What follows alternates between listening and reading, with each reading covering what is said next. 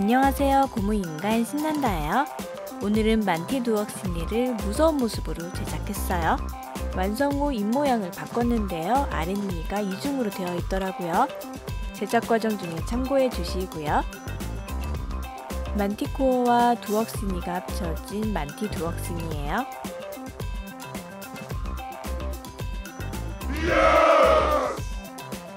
도깨비 방망이도 살짝 붙여봤고요 그럼 만디 두억스니 만들기 시작해 볼게요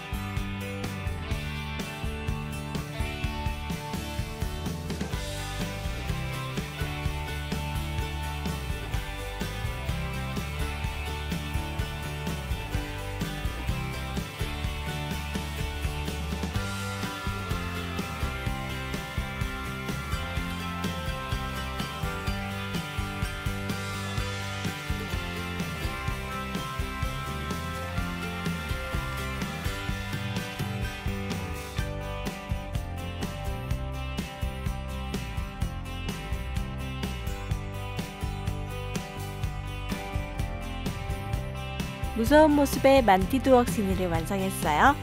구독과 좋아요를 눌러주시고요. 신난다와 다음 시간에 다시 만나요.